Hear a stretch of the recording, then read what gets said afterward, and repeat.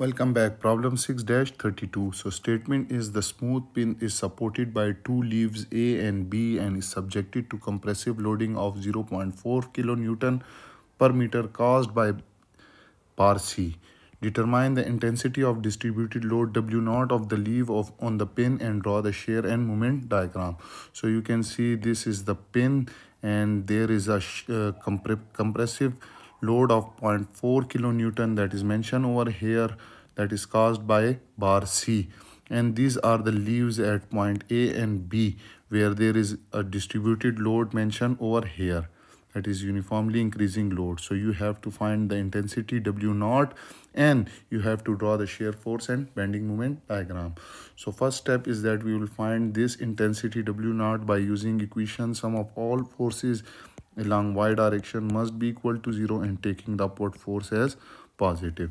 So you can see one load which is this one distributed load when converted into point load. So it's 0 0.4 into distance is 0 uh, 0.60 clear? And that that will be downward. The other force is this one and this one which when converted it will be equal to 1 over 2 w naught into 20 clear their sum must be equal to 0 so there are two forces. So 2 into this term minus 0 0.4 into 60 is equal to 0 so i will write that 2 into w naught into 20 into 1 over 2 this will be upward force minus 0 0.4 into 60 will equal to 0 so when you solve it, you will get intensity W naught is equal to 1.2 kilonewton per meter. So this is the answer our, of our first part. Now we will draw the bending moment and shear force diagram. So for that I have to draw a vertical line from the ends. And first we will draw the shear force diagram so this is the along the length of the pin, uh, pin. So v is in kilonewton. At point a you can see that at point a we have zero shear clear. So this point will be equal to zero. Now uh, this load which is uniformly increasing load till 20 millimeter distance so this will be equal to 1 over 2 into w naught into length 20 meter 20 millimeter. So 20 millimeter in term of meter will be 0 0.02 meter. So when we'll multiply it will give you 0 point uh, it will give you 12 clear. So let this is 5 this is 10 this will be 12 so you are this point you will have 12 since this load is uniformly distributed load is increasing load so shear force will be second degree and the moment uh, the rotation will be counterclockwise. Okay. Now we have a distributed load from this point till this point. So 0 0.4 into 60 will be equal to uh, uh, 24 so 12 minus 20 plus 12 minus 24 will again give you minus 12 so minus 12 will be at this point we will have minus 12 at this point we will have minus 12 will be this one. And since this uniformly distributed load is a zero degree line so shear force will be one degree higher and it will be a straight line and again we will have the same force that is given over here. That is uh, 1.2 is w naught into 20 divided by 2 so it will be again bring it to 0 so minus 12 plus 12 will be equal to 0 and it will be again a, a curve form okay so this is your shear force diagram. Now we will move toward the bending moment diagram and we will draw it.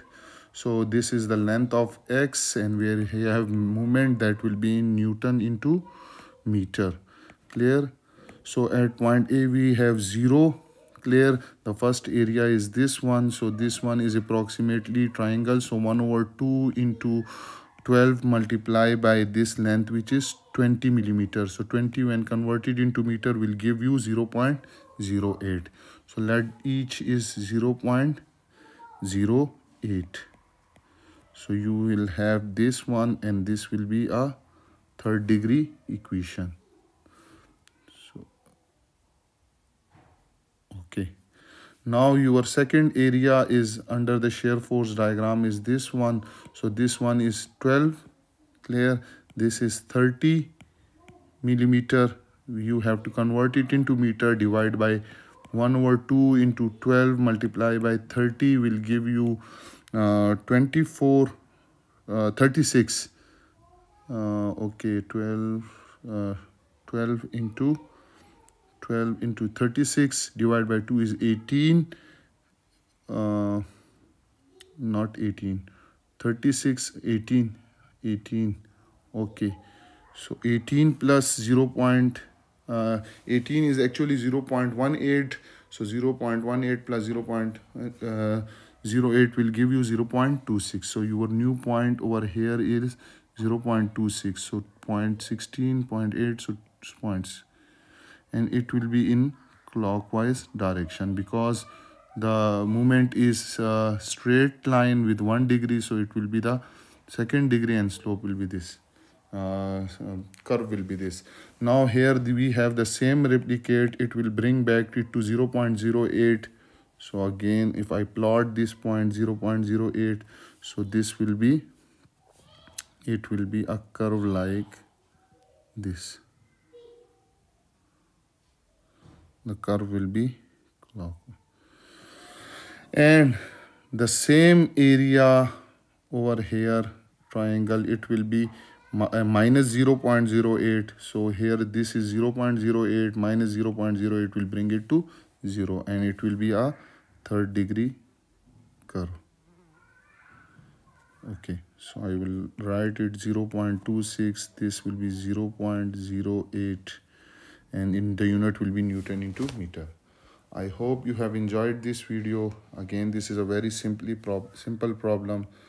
Uh, if you have any question you can ask me in comment section and those who are new to my channel then subscribe it and hit the bell icon so that you can get the notification about my latest video. Thank you